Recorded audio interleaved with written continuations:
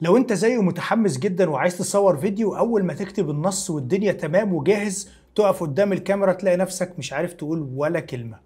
خليني أقول لك إن ده طبيعي جدا وكلنا عندنا نفس المشكلة دي. تطبيقات النهارده إن شاء الله تحل لك المشكلة دي بكل سهولة. حتى لو انت مش عايز تظهر قدام الكاميرا عندك حل سهل جدا هنشرحه إن شاء الله في الفيديو ده. ولو الصورة المصغرة صعبة ورخمة بتاخد منك وقت كبير يبقى انت بتشوف الفيديو الصح. سلسلة جميلة كده وخفيفة عن أفضل تطبيقات ممكن تساعدك في صناعة المحتوى وتضاعف إنتاجك أكتر من 10 مرات بإذن الله. فلو انت مهتم بصناعة المحتوى وعايز تضاعف إنتاجك خليك معايا.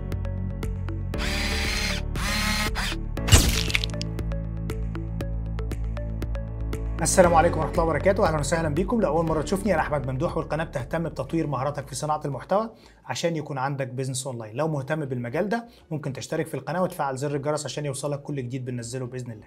بصراحة أكتر حاجة بتخليك تتلخبط قدام الكاميرا إن أنت مش عايز تغلط ابدا وبتنسى اللي بتقوله. وده طبيعي جدا على فكرة وخصوصا في البداية. ولو عايز تعرف شوف الفيديو ده. إزاي يرجعوها لحساباتهم بطريقة آمنة وسهلة.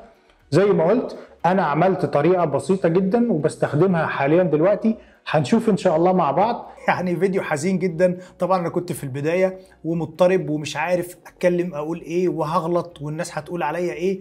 كلنا بنمر بالمرحلة دي. طيب دلوقتي أنت تعمل إيه عشان تتغلب على الموضوع ده؟ ده اللي هنعرفه دلوقتي. بس عايزك تركز معايا وسيب كل اللي في إيدك لأن أنت هتسمع كلام ممكن تقفل الفيديو والكلام اللي بعده هيكون مهم. فركز معايا عشان فعلا تستفيد من الفيديو. أول خطوة اكتب كل اللي هتقوله بالظبط لو أنت مبتدئ لأن ده هيفرق معاك جدا وهيريحك وأنت بتعمل الفيديو. طبعا ممكن تسألني وتقول لي أكتب كلام كتير زي ده إزاي؟ أقول لك عيب تسأل سؤال زي ده وال ChatGPT موجود أو ال POE المجاني اللي هو التطبيق المجاني. كل دول هيساعدوك إن أنت تكتب محتوى رائع جدا بس اكتب بتفصيل ووضح بالظبط أنت عايز إيه. هيكتب لك نص الفيديو هتحتاج تعديلات بسيطة جدا وبعد كده الفيديو جاهز إن أنت تصوره. وهسيب لك في الوصف أكتر من موقع ممكن يعمل لك الموضوع ده بشكل مجاني. ممكن كمان تستخدم خاصية الكتابة عن طريق الصوت إن أنت بتضغط في ال keyboard بتاعتك على المايك سواء أنت آيفون أو أندرويد وتبدأ تتكلم بس تختار اللغة الأول وبعد كده هو بيكتب كل كلمة بتقولها حتى لو بالعامية المصرية هو بيكتبها وبالتالي كده أنت كتبت نص الفيديو في أقل من خمس دقائق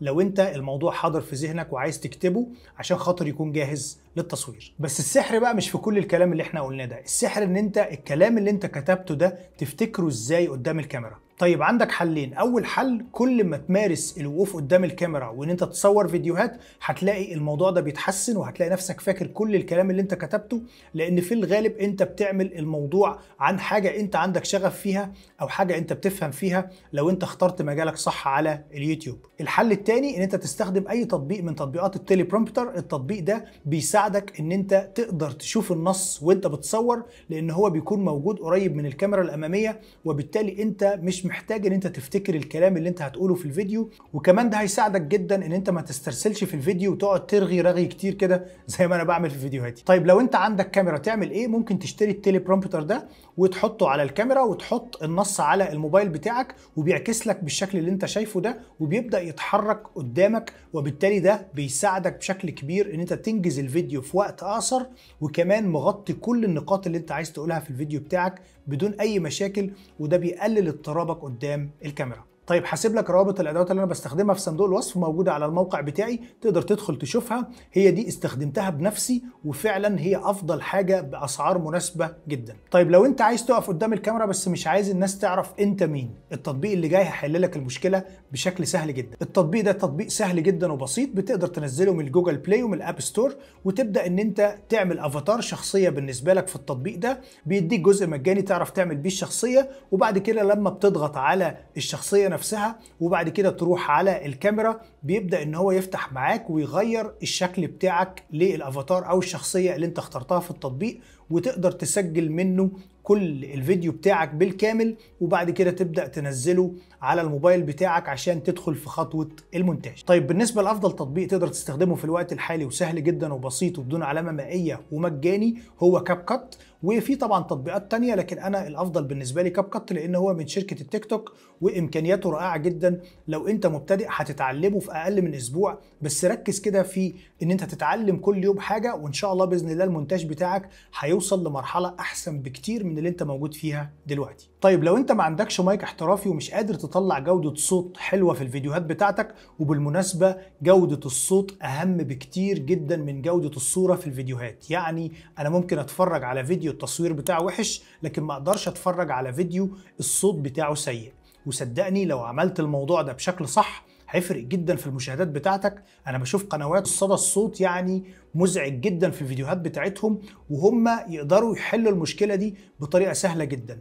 أنت تقدر تعدل الصوت اللي أنت سامعه دلوقتي للصوت اللي أنت سامعه دلوقتي بتطبيق سهل جدا وبسيط. الموقع اسمه اديبي بودكاست تقدر إن أنت ترفع عليه الصوت بتاعك عشان هو بيقبل الصيغة دي بس وبمجرد ما بتدخل الصوت في التطبيق بيقعد دقايق بسيطة وبعد كده بيطلع لك الصوت يعني كأنك مستخدم مايك احترافي. طب لو انت عايز مايك احترافي وسهل جدا الاستخدام اسمه بويا إم 1 المايك ده سعره تقريبا حوالي 20 دولار ومتوفر في مصر وفي الدول العربية تقدر تشتريه بس المشكلة انت تعرف تشتريه يكون مش كوبي يعني الأصلي عشان يطلع لك جودة صوت رائعة جدا بسعر مناسب بيشتغل على الموبايل على الكمبيوتر على الكاميرا على أي جهاز ممكن تقدر تسجل الصوت عليه. طيب الصورة المصغرة لآخر حاجة بنفكر فيها أنا كتير جدا بقول إن الصورة المصغرة تعتبر من أهم عوامل نجاح الفيديو لأن هي اللي بتخلي المشاهد يضغط على الفيديو ويشوفه. وزي ما بقول دايما لو الفيديو بتاعك أفضل فيديو في العالم لكن الصورة بتاعته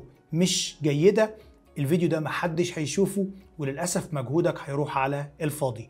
حط مجهود كافي في الصورة المصغرة وركز إن أنت تعملها بأفضل طريقة ممكنة ويمكن عايز أقول لك اديها مجهود 70% والفيديو 30% اسمع كلامي وشوف النتائج وادعي لي طيب تعمل الصورة المصغرة إزاي؟ في تطبيقات كتير جدا بتعمل الموضوع ده بس أنا بالنسبة لي الأسهل والأفضل والمجاني هو كانفا أنا عارف إن كانفا دلوقتي بيحاول إن هو يخليك تشترك وعمال يقفل عليك صور لكن في الآخر انت ممكن تلعب لعبة ظريفة جدا هتشوفها دلوقتي على Canva وتظبط الصورة بتاعتك وتكون أحسن كمان من اللي موجودة في Canva طبعا Canva انت بتدخل تكتب له YouTube thumbnail أو صورة مصغرة لليوتيوب وبعد كده بتبدأ تختار الصورة المناسبة بالنسبة لك وتغير في الكتابات تغير في الألوان تغير في الأماكن بتاعة النصوص وكده الصورة بتاعتك جاهزة تضغط على download وبعدين تنزلها على الموبايل بتاعك وتبقى جاهزة إن أنت ترفعها على الفيديو بتاعك على اليوتيوب.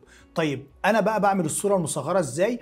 أنا باخد صورة بنفسي وبعد كده ببدأ أرفع الصورة دي على تطبيق تاني اسمه Photo Lab التطبيق ده بيحول لك الصورة لشكل كرتون فبيخليها أجمل وأظرف وجذابة بشكل أكتر. طيب العلامة المائية اللي Photo Lab دي تعمل فيها إيه؟ أنت ممكن تاخد Photo Lab بعد ما تنزل الصورة تاخدها وتحطها على Canva وبعد كده تكبر الصورة شوية فالعلامة المائية دي هتختفي ويبقى الموضوع سهل جدا وتعمل صورة فعلا رائعة. ولما جربت الموضوع ده نسبة النقر على الصورة المصغرة عندي بدل ما كانت 5.5% وصلت ل 8 و9% فطبعا الفرق كان باين جدا بسبب الصورة المصغرة. طيب لو عايز تتعلم كل أدوات الذكاء الاصطناعي شوف الكورس ده مجاني موجود على القناة. هيساعدك بشكل كبير إن أنت إن شاء الله تحترف الذكاء الاصطناعي في صناعة المحتوى. وأشوفكم على خير إن شاء الله في اللايف الجاي يوم الجمعة الساعة 4 العصر توقيت القاهرة. سلام.